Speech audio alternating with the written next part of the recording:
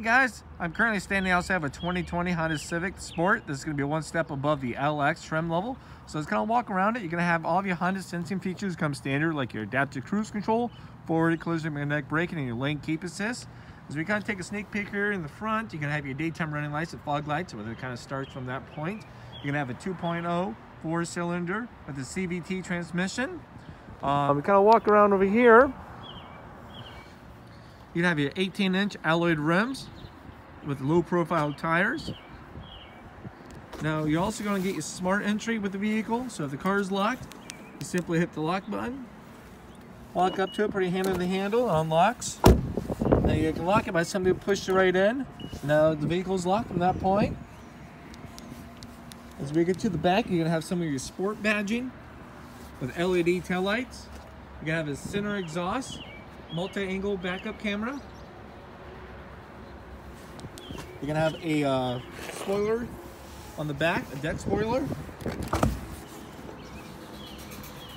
As you kind of take a look down here below, you're gonna have some insulation in the trunk to make it more of a quieter ride for your passengers in the back seat. It's gonna be a 60-40 split, so you can bring down either side of your uh, seats here if you need to.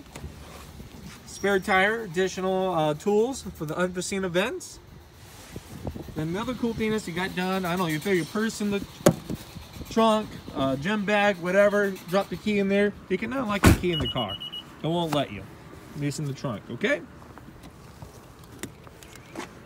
Let's shut that right over there. Now you have a capless tank. So with the capless tank and on the outside, you simply push the door open, pops right open for you guys. Slide in your gas, good to go. Now if you have a uh, collapsible nozzle for your emergency gas can, you have the emergency funnel in the back, please use that so it won't get stuck. Now when the car is locked, this locks.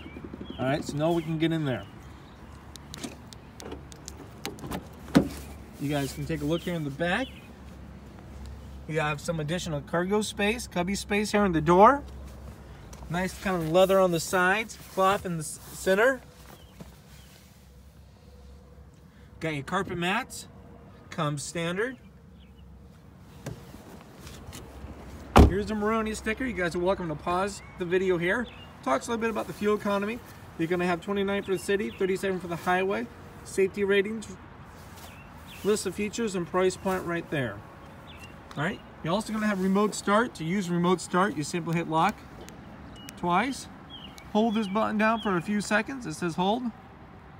Light's gonna flash. There it is. It's gonna run for 10 minutes. Heats and cools to 72 degrees. This remote start has uh, 180 feet, 60 yards, a range there for you. Now take and give, you know, some buildings. If you're in a building down in the basement, keep that in mind, okay? Let's walk right in. All right, now you're gonna have all your adjustments over here. You're gonna have your mirror adjustments. Slide it over to the right. If you wanna select the right, you can change from there. You got your power locks, your windows. You can lock your window just in case you got young whippersnappers or adults that are misbehaving in the back. The trunk buttons down below. Some additional cubby space. You're gonna have manual seats, so it's gonna be a pump action. To raise it, you have to pump up. To lower it, you gotta pump down. You got your tilt, and you got a bar here to slide forward and back, okay? Let's jump right in. Now with the remote start, since we have that going on, to fully turn on the vehicle, you have to put your foot on the brake. Then push this push button in, because it is a push button start. Now the vehicle is fully on. Now over here on the side, you're gonna have your forward collision mitigation braking, vehicle stability assist. If you guys ever want to shut that off, it's a click and hold until it kind of pops right up. Then you have your road departure. You have your hood release, your wheel adjustment, simply pull this out from down under. It's gonna be a telescope. Comes up and down, in and out. Lock that back in place. Over here on the side, we're gonna have your auto headlights. They're gonna have an auto beam too as well. Wipers, shifter paddles, so you can change your automatic to a manual, or depending on what kind of driving you're doing. Can have a nice little kind of aggressive look up here. Everything's gonna be red. You got your uh, Honda Sensing is available. You can tell by the green writing up on the top. The ACC is your adaptive cruise control and the lane keep assist. So when I hit this main button, if I don't want it, it turns it off. It's no longer available. Maybe if I like it, now it's available. You have all of your Honda sensing on this side. You have your lane keep assist between 45 and 90 miles an hour. It keeps you in the center of your lane. You can customize that so it will beep at you when you go over the line or you can have it off or it won't beep at you. Either way, it brings you back and recenters you on your highway driving. You have your cruise control right here. Then you have your cruise control speed. You have your adaptive cruise control. As you see, many times I hit that button, it changes the lines right up there, changing the distance between you and the car in front of you. Hands free for your phone.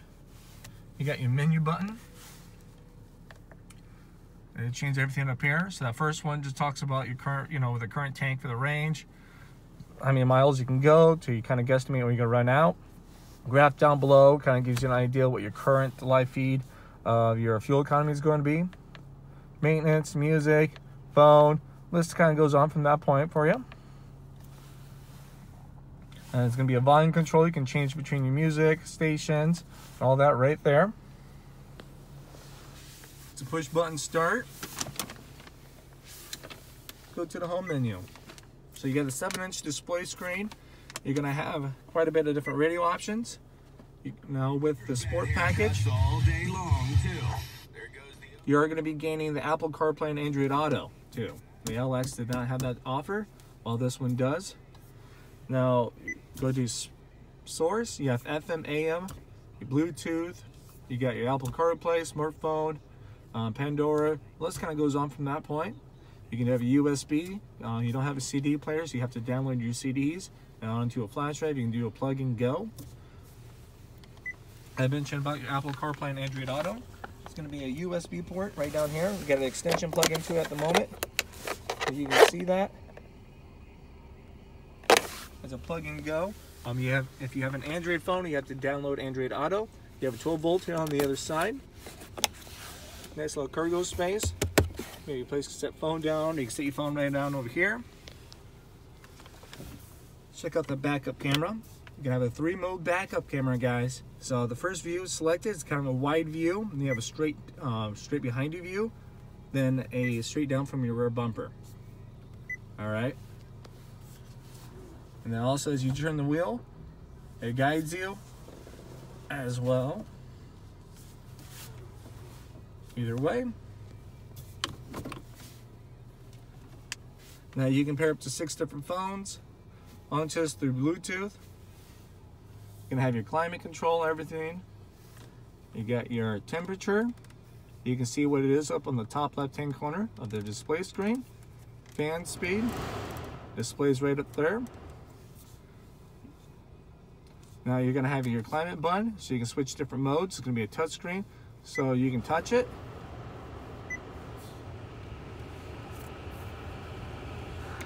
off button right there. Now down below, you're gonna have your different gears. Oh, sorry, different drives. You're gonna have your regular drive, then you have a sport drive. You have a hold brake, so if you ever stop at a train, you can hit that button while your foot's on the brake, and it'll hold that brake for you, so you can take your foot off the brake. Electrical parking brake, you have econ mode. So with econ, when that's on, you have a green leaf that's up there to indicate to let you know. It changes the RPMs of your car um, changes the acceleration power and eight nerfs the AC power to give you better fuel economy. All right, so depending on your driving habits, you can see from two to four more miles to a gallon. Now, see those white lights there on the top sides? Uh, they change colors as you're driving too. So between green and white, green is being your being uh, fuel efficient, and then white is when you're not. So we're not driving anywhere, so we're not being as fuel efficient right now. Um, so this is a nice little coach, okay? Nice little coach. Also with the econ button, just to let you guys know, you can keep it on for your city driving. It just won't be as effective because of the constant stop and go. It's going to be the most effective on the highway. All right. You're going to have an additional USB port down here. A little hard to see down there. It is popping right up. Slides, cup holders. You got room for a big one A little additional cubby space. Armrest, adjust, two different modes.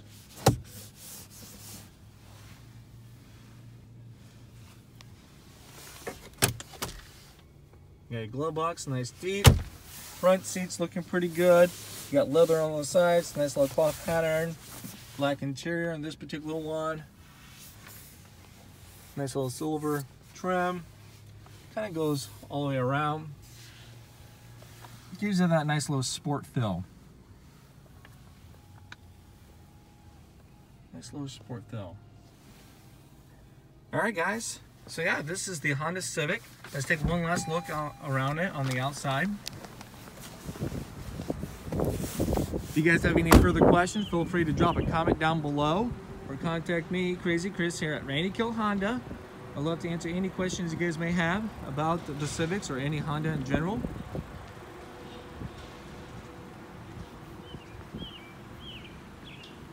Nice little aggressive look on it.